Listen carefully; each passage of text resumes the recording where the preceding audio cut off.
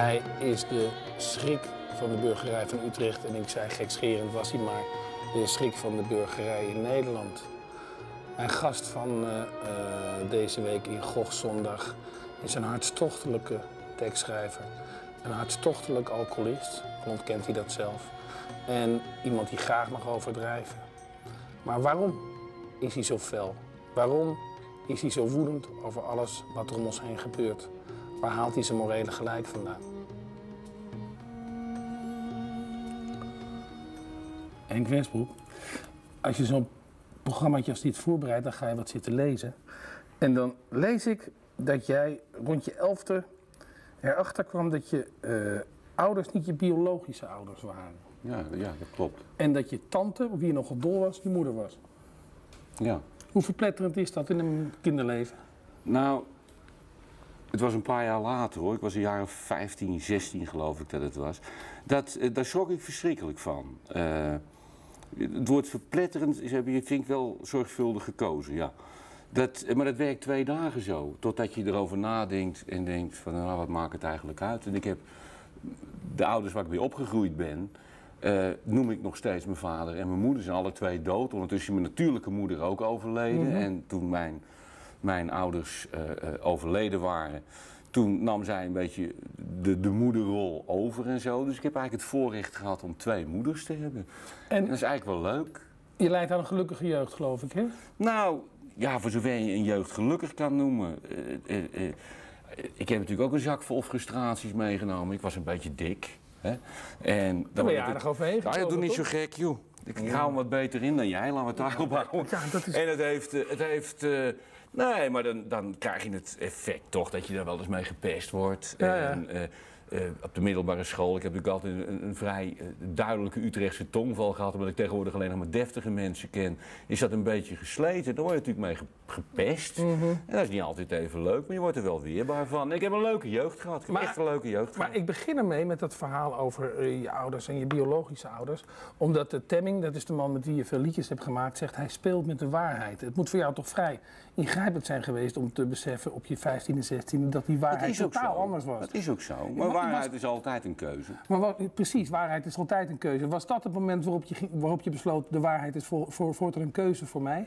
In plaats van dat het iets is wat op me afkomt? Ja, kijk, eh, dat zijn allemaal. Kijk, je kunt liedjes schrijven die de waarheid heten. En je kunt ook een boek schrijven dat het ware boek schijnt te zijn. En je komt er alle twee niet uit. Natuurlijk is altijd alles een beetje aangedikt, een beetje overdreven. Maar nou, het was niet het moment hoor. Nee, ik heb dat altijd gevonden. Ik heb altijd gevonden dat als je eh, eh, op vakantie gaat en je vertelt de waarheid, dan, dan hou je geen vrienden over. Want er zit er namelijk niemand op je te wassen. Ik ben weer vier weken in Frankrijk op vakantie geweest. zeg. Ja. En ik heb daar vier weken in de zon gelegen en een boekje gelezen. En Dus jij de slaat je mensen liegen door het leven eigenlijk. Ja, natuurlijk. Maar dat, doet, je kop dat doet iedereen. Ja, nee, dat doet iedereen. Dat Wat doe je? Je, eh, je eet één keer eet je slecht en je hebt, je hebt er maagpijn van en je dikt dat verhaal een beetje aan. Je maakt het verhaal op een... Het is een hele interessante sociologische theorie. En dat klinkt een beetje zwaar. En die is van de meneer Schutz. En die zegt van, er zijn mensen die niet in staat zijn... als ze bij wijze van spreken de explosie in Enschede hebben meegemaakt... dat te vertellen op een wijze die andere mensen twee keer twee minuten boeit. De straf daarop is dat je eenzaam bent. Als jij in de kroeg zit en je weet niet een vakantieverhaal zo te vertellen... dat, dat het boeiend is in de ogen van anderen... dat betekent altijd dat je je accenten legt. Jij bent zelf filmer, dus je weet precies hoe het werkt. Ik bedoel, je, liegen wij- allebei de waarheid. Nee, natuurlijk. natuurlijk. Want wat, wat je doet is, je, je maakt het licht. Ik bedoel, je wordt niet, je wordt niet aangeschoten, maar je wordt ladderzat. Ja. Je, je, je verdraait het allemaal net een klein beetje, zodat het voor een ander heel amusant is om naar te luisteren. En sterker nog, eh, eh, je doet de waarheid daar in zoverre geweld mee aan. Dat het in 99 van de 100 gevallen volstrekt onbelangrijk is. Want wat maakt het iemand nou uit als ik, als ik in Frankrijk geweest ben en ik ben er in een pontje, op een pontje geweest dat lekte en dus echt aan het zinken was, is het toch veel leuker als je het zo vertelt dat je op het eind van de rit tot je nek hier in het water stond in plaats van nou zeg en toen kwam het pontje aan en toen kwam er een man met een pleister en die plakte hem dicht. Dat is leuk, dat is amuserend. Ja, maar door de dames en heren van de, de eh, ordentelijke politiek word jij als een populistische volkstribuun gezien. Dus die hebben dan meteen weer eh, ammunitie om Ja, tegen te ik- in de, gebruiken. in de politiek lieg ik namelijk nooit, want dat is, dat is namelijk niet leuk te krijgen. De politiek is jouw purgeermiddel, dus de enige Dat is- plek waar je niet liegt. Nee, maar daar valt, daar valt ook weinig over te liegen. Want alles wat je zegt is vrij controleerbaar. Tenminste, als je het goed organiseert wel.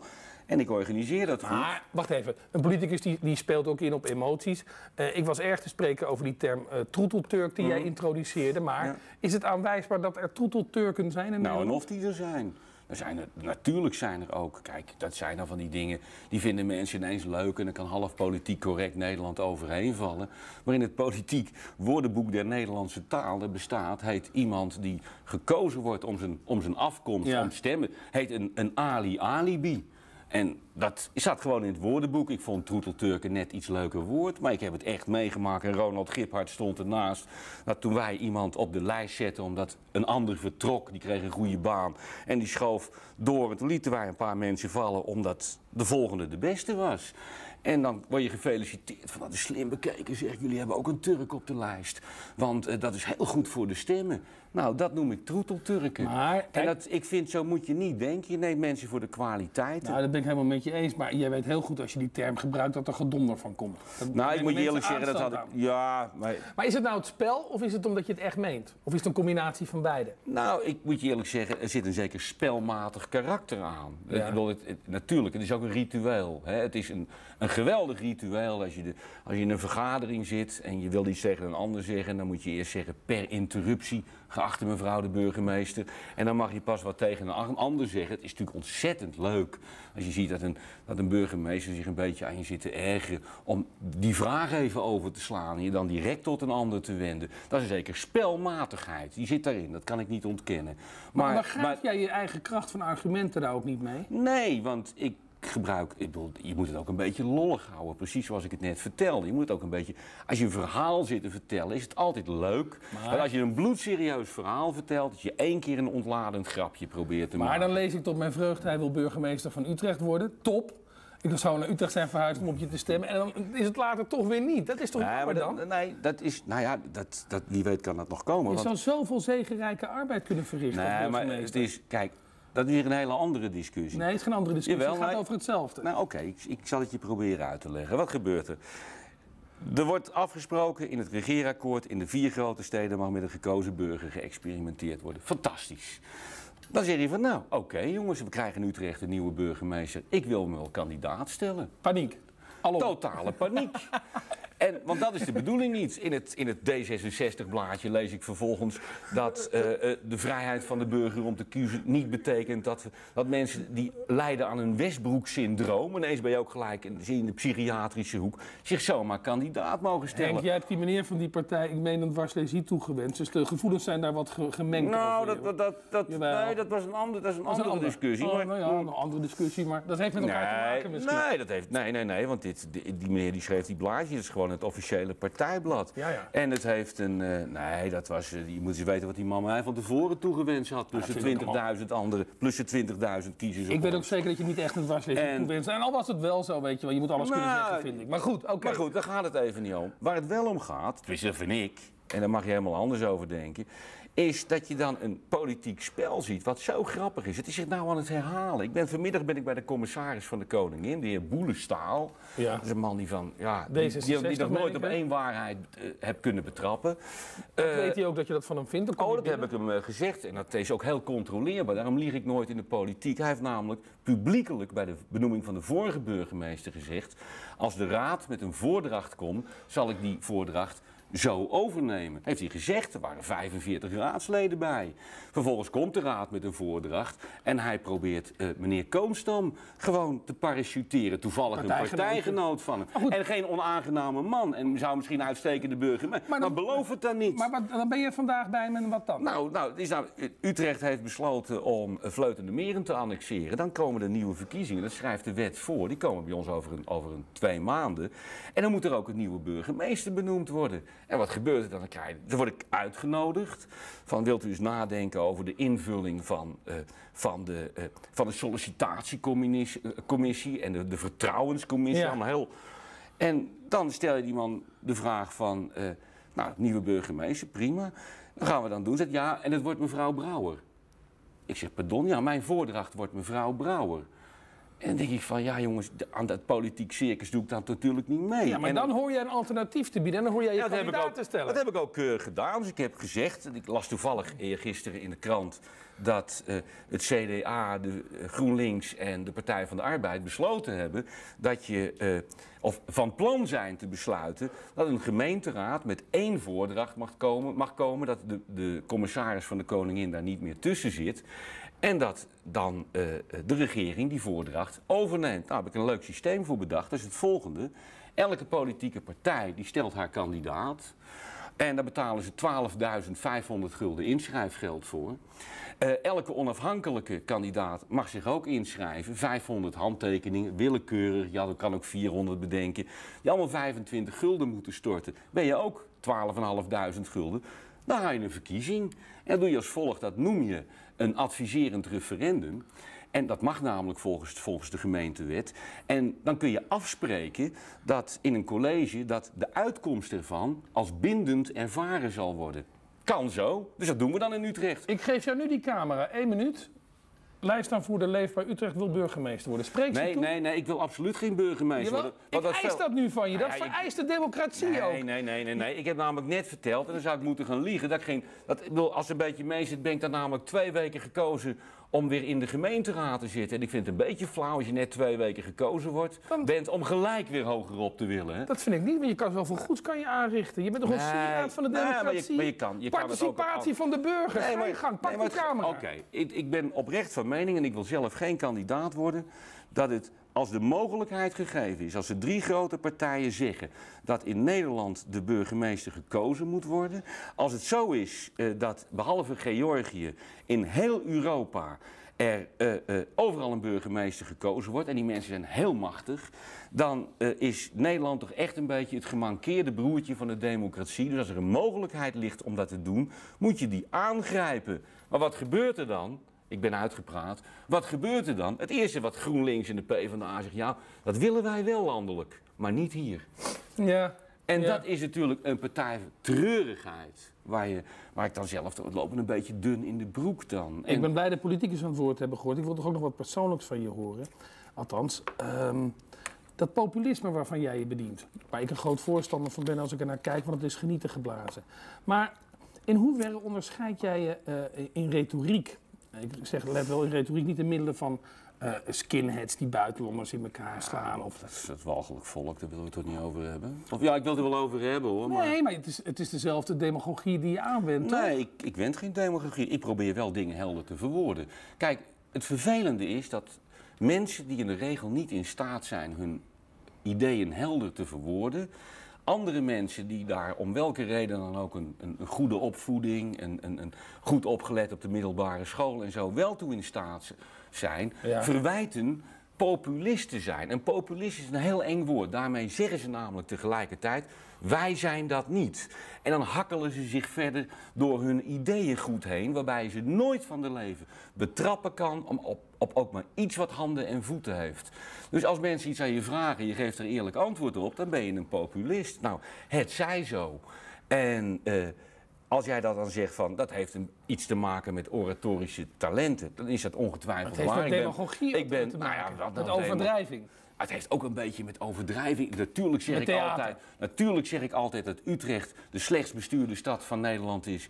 En dan, Is weet ik, zo. en dan weet ik best dat het, de kans niet uitgesloten is. Wat dacht je dat van ergens, Amsterdam? Nou, dat kan ik niet zo goed dat beoordelen. maar ik, ik kan me best voorstellen dat er nog een paar steden zijn die nog beroerder bestudeerd zijn. Dat is de overdrijving. Maar op het moment dat je tegen mensen zegt: van Utrecht is een slecht bestuurde stad en ik geef daar 25 goede redenen voor.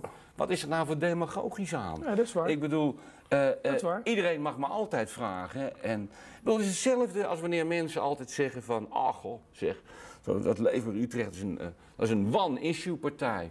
Wij komen straks en ook volgende keer met een partijprogramma van, zes, van 86 pagina's. Dat is een boek. Heb jij dat En- geschreven? Nee, dat hebben we met z'n allen geschreven. Ik heb het wel geredigeerd. Dus ik heb er wel Nederlands van gemaakt. Moet ik eerlijkheidshalve Maar zeggen. het Nederland van Maar- gemaakt of heeft de censorcommissie toch wat onwelgevallig Nee, wij hebben geen, nee, nee, nee, we hebben geen censorcommissie. Absoluut niet. Nee, je kunt, je kunt, eh, nee, sowieso moet je niet Maar je bent toch wel de baas in je eigen partij? Nee, Nee, dat moet je vooral niet willen. Dus je moet soms standpunten verdedigen omdat de partij het wil. Nee, die nee, dan maak ik altijd een duidelijk onderscheid tussen wat ik privé vind en wat mijn partij vindt. Is dat niet een beetje slap? Nee, dat is niet, dat is niet slap, maar kan je daar een voorbeeld van geven? Het speelt natuurlijk helemaal niet. Ik ben een principieel republikein en ik ben bij ons de enige in de fractie. Dat wil zeggen, als de koningin van de week bij ons een nieuw gemeentehuis komt openen, dan kom ik niet en de anderen zijn er wel. En ik ga daar verder niet over. nee, oké. Maar ik doe dat gewoon Dat niet. is een minor punt natuurlijk, maar toch. Het is een totaal minor punt. Maar- En ik zal je ook vertellen eh, dat als wij zijn in, als partij volstrekte voorstanders van het vrijgeven eh, eh, van, van verdovende middelen, ook van wat zwaardere aard. Ik bedoel, je moet, je moet van he- heroïne en dat soort dingen. Dan moet je gewoon, als je de junks van straat wil houden, dan moet je dat net zoals we dat vroeger in Indië deden, moet je een staatsmonopolie van maken. Dan, mogen de, dan mag de maffia mensen verslaafd maken. En als het moment dat er geld verdiend kan worden, zegt de overheid: sorry, nou bent u te laat. Eh, wij gaan dat wel verstrekken. Ook ben jij, als ik in geval de, het mag geloven wat er over gezegd en geschreven wordt, een man van vetus. Het is bij jou alles of niets. Je bent of bevriend, of het is eh, vijandschap. Dat valt wel mee. Ja, dat, zit- dat, ik lees Is dat dat, niet ook waar? wel eens. Nou ja, maar luister, er zijn mensen waar ik een hekel aan heb. En er zijn ook mensen die een hekel aan mij Nee, hebben. maar ook mensen met wie je samengewerkt hebt, met wie je niet meer praat. Ik praat met... nee, ik, noem mij er eens vijf dan. Nou, laten we, het, laten we het simpel houden. Noem er eens twee dan. Temming heb ik begrepen. Nou, maar wij hebben het heel toevallig een half jaartje geleden weer bijgelegd. Dat is nou het probleem. En dat is nou... Nee, heb maar, ik me zo ingelezen, staat dat nee, niet maar, in de krant. dat Waarom staat nee, dat dan niet wij, in de hebben, krant? wij, hebben, wij, hebben zelfs, wij hebben zelfs weer pas eens namelijk opgetreden. Ik bedoel, voor alle duidelijkheid, wij zullen nooit meer samen liedjes schrijven. Waarom niet eigenlijk? Nou, omdat ik tegenwoordig een andere partner heb waar ik mijn liedjes mee schrijf. En hij heeft ook een partner waar hij zijn liedjes mee schrijft. Nou, wat Dus is de zelfs echte reden? Nou, de echte reden is, is precies wat ik je nou aangeef. En ook omdat ik een hele andere kant... met die Nee, ik, heb- ik ben ook Waarom is dat misgegaan eigenlijk? Wat ging daar mis? Het ging in de tijd mis op pure kleinzieligheid van beide kanten. Nou, ik bedoel, het- het- het- ik meen dat het Rick de Leeuw was van de Truck en de Kerk. Zie je, Het is een keer, maar het kan een ander geweest zijn. De meeste bandjes gaan kapot eh, op weg naar huis in het busje. Ja, En wat er gebeurt is als je 10, 15 jaar met elkaar optrekt, Ja. dan krijg je over niks krijg je ellende. Dus op een gegeven moment, ik lulde altijd de liedjes aan elkaar. En hij, dat wil ik ook wel eens doen. Nou, ik vind best. Dan vond ik dat hij het niet goed deed. En dan werd hij dan weer pissig over. En dan, maar wie maakte ruzie En- dan? nou, we maakten allebei Of ruzie. was jij degene die zei... nou, Nee, nee, nee, dat valt best mee. Je gaat je gewoon, het is net als in een slecht huwelijk. Je gaat je aan alles irriteren op een gegeven moment van elkaar. Ben jij, Als je een- bij ben, elkaar- jij- ben jij een kwetsbaar typeje eigenlijk, of valt het wel mee? Nou, voor sommige dingen ben ik denk ik wel kwetsbaar. Zoals? Nou, ik, kan er, ik kan er slecht tegen als ze leugens over me vertellen. En op dat soort momenten mag ik graag in de pen klimmen en dat soort dingen. Ik vind het. eh, en ja, dat vind ik eigenlijk wel prettig. Ik, ga, ik laat me niet willoos naar de slagbank leiden. En ik bedoel, als een journalist bijvoorbeeld de behoefte heeft om drie keer willens en wetens te liegen over dingen waarvan hij me, waarover hij me had kunnen bellen, dan mocht ik hem nog eens tegenkomen of de kans krijgen daar een, een venijnig stuk over te schrijven, zal ik het niet nalaten om mijn pen in azijn te dopen. Maar ik zoek het niet. Ik vind het namelijk helemaal niet leuk om ruzie te hebben. Je bent eigenlijk van het harmoniemodel. Nee, ik ben helemaal niet van het harmonie- harmoniemodel. Dat haat ik. Ik haat het harmoniemodel. We zijn het altijd over alles eens. Altijd over alles eens betekent dat mensen geen beginselen hebben. Dus ik vind het altijd zo makkelijk. Ik bedoel, dat, dat, dat, heb ik, dat heb ik de weerzin in de tegenwoordige politiek. Vind ik dat als je, als je mensen hoort praten die allemaal van een ander clubje zijn. Dan, dan vijf minuten voor de verkiezingen met de vuist en principes, vijf minuten na de verkiezingen zijn ze alles vergeten. En maakt het allemaal niet uit, want je bent er binnen vijf minuten met elkaar uit. En ik vind, er zijn dingen, daar moet je gewoon niet over willen praten. Dat ligt heel fundamenteel. Dat hebben sommige christenen ook. Ik, bedoel, ik denk dat je met CDA moeilijk kan, kan, kan, gaan praten over het afschaffen van het christendom. Ik zou het graag met ze willen doen, dan valt niet met ze over te Een praten. politicus is er toch ook om macht te verwerven en invloed uit te oefenen? Jij bent zo streng Dat is, leer. nee, maar dat is een. Ja, nou, is- ik vind dat je. Ik heb een andere opvatting van politicus. Namelijk dat je niet zijn macht te verwerven, dat je een puur middel bent. Dat je, de, dat je vraaggestuurd doorgeeft wat mensen in grote lijnen willen. Op het moment dat, dat, ze- dat die ding- mensen dingen willen. Ik geef maar een willekeurig voorbeeld. Als mensen nou morgen zouden willen dat de doodstraf in Nederland onmiddellijk geherintroduceerd werd. eh, eh, eh, voor iedereen die iets onbenulligs gedaan. Nou, eigenlijk zou ik ben tegen de doodstraf, punt. Nou, iemand En die, die een dan- heeft doodgemaakt. Doodstraf? Ja, nou, nee. Ik zei even ja. Je zei van ja, ja. Nou, ik en, moet je eh, zeggen, ik heb zelf ook kinderen. En we lezen ook. natuurlijk de krant ook wel eens. En mijn, eh, als mijn hart spreekt, zeg ik van nou, sommige van die jongens moet je langzaam doodknuppelen. Maar als je vijf minuten nadenkt, dan hebben we allemaal wel eens een detectiveboek gelezen. En detectiveboeken bestaan bij de gratie van het feit dat iemand ter dood veroordeeld is. En vijf minuten voor tijd komt eh, de held binnen, want er blijkt fraude gepleegd te zijn bij de Moeten bewijsvoering. de namen van kinderverkrachters zich openbaar worden? Ah, nee, dat moet, je, dat moet je niet doen. Ik ben daar echt een principieel tegenstander. van. Om de simpele reden. Een meisje in Assen had nog geleefd. Ah, ja, dat, dat las ik in de revue dat je zei. En ik, ik denk dat je nog gelijk hebt ook. Maar weet je wat nou het lullig is? Die ene meneer die van de week zelfmoord gepleegd heeft in Engeland. omdat hij geheel ten onrechte met foto en al in de krant stond. En door iedereen eh, belaagd werd, stenen door de ruiten kreeg. Zijn kinderen konden niet meer op school komen. Die man is ook dood en die had niets gedaan. Dat was een klein foutje van de krant. En de krant zegt dan niet, nou sorry hoor, dat hebben wij op ons geweten. Het en ik ook niet in denk, de kranten gebeuren natuurlijk, maar goed. Nee, maar, ik wat, wil nee, maar, nee, maar ik, wil dat, ik wil dat niet ontlopen. Daar gaat het me niet om. Het vervelende is dat op het moment dat je dat soort dingen doet, weet je dat er fouten gemaakt Dus voor worden. een groter principe moet je het meisje in Assen maar opofferen dan. Nou, als je het zo hard wil zeggen, ja. Leg dat, Nee, eens, uit, leg dat nou, eens uit aan die moeder in Assen. Nee, dat kan ik niet uitleggen aan die moeder. Om in maar eens een Assen. demagogische Nee, vraag maar te stellen. dat valt ook niet uit te leggen, want het is ook helemaal niet eerlijk. Dat ik wil nog wat van je weten. Die lyrische kant van jou, die prachtige liedjes die je maakt. Ik vraag me altijd af, is hij nou een gemankeerde zanger, een fantastische eh, tekstschrijver of is hij ook een gemankeerde politicus? Hoe zit het? Wat ben je meer? Ben je meer de liedjeschrijver of ben je meer de politicus? Nou, nou, kijk, als ik qua tijd zie, ben ik tegenwoordig ongeveer fulltime politicus. En, Ja. Maar mijn troost is, zoals sommige mensen dat vinden, in, eh, in, in, eh, in de lust of in, eh, in, in een verdovend middeltje, wat wel eens prettig kan zijn, in een drankje. Mijn, ik, mijn genot pleeg ik met het schrijven en uitvoeren van liedjes. Vind ik het leukste wat er bestaat op de hele le- en hoeveel jaar ben je al trouw aan je vrouw? Eh, nou, wil je met trouw dat ik niet vreemd ga of zo? Nou, bijvoorbeeld. Nou, ik, dat, ik bedoel, eh, ik, ben niet vre- eh, ik, ik- ben niet vrij van zonde, laat ik het trouwens heel christelijk zeggen. Maar ik hou, ik hou het er al, eh, we houden het al 31 jaar met elkaar Hoe, uit. hoe doe je dat? Omdat ik erg veel van mijn vriendin Maar hou. hoe doet zij dat met jou? Alcoholist, kooksnuiver? Dat is, nou, kook snuif ik niet. Aha. En al, ik drink wel, ik ben wel alcoholist geweest, maar ik ben het niet meer. En al een jaartje of twintig niet Zij meer. hij plechtig? Is dat Nee, zo? dat is echt zo. Aha. Toen ik 20, 22 Maar daar was. gaat niet om. Ze houdt van je, waarom? Ja, dat, ja ik, ik zou zo flauw kunnen zijn om te zeggen, dat moet je hebben. We hebben het waarschijnlijk erg prettig in bed. En we hebben een, eh, we hebben een, leuke, we hebben een leuke dochter. En die- ik vind het, mijn vriendin, een zeer aangenaam mens. En op de een of andere manier schuilt zal ze dat voor mij ook wel vinden. Het ontroerende van je is dus dat je een hemelbestormer bent, maar in dat opzicht toch een steunpilaar van de burgerlijke maatschappij. In dat opzicht, eh, ik, bedoel, ik heb er niet voor gekozen om burger. Als ik morgen ongelukkig zou zijn met mijn vriendin, ik ben niet getrouwd, dan zou ik overmorgen de beslissing nemen om op een keurige manier uit elkaar te gaan. En als steunpunt van de burgerlijke maatschappij mijn vriendin niet eh, onbemiddeld achter te laten. Maar ik zou er echt geen seconde mee wachten. Ik bedoel, maar als ik. Ik, bedoel, Mag ik, mag ik, ik voel me vragen- gelukkig dus wat, wat met haar, dus wat kan ik er nog meer aan doen? Mag ik van je vragen tot slot van dit gesprek om die camera te pakken en een eigen huis te zingen? Weet je dat nou? Als jubelend uitroepteken achter eh, dit hartstochtelijke pleidooi voor trouw. Oei, ja, ik, doe het, ik, doe het, ik, nee, ik doe het in mijn theatervoorstelling wel eens in een hardrockversie. Voor de, voor de, voor de gein. Maar, maar ja, a zo. cappella. Ik mag wel zeggen dat ik niet zo kort kom, geen besef, geen benul wat de smaak van honger is.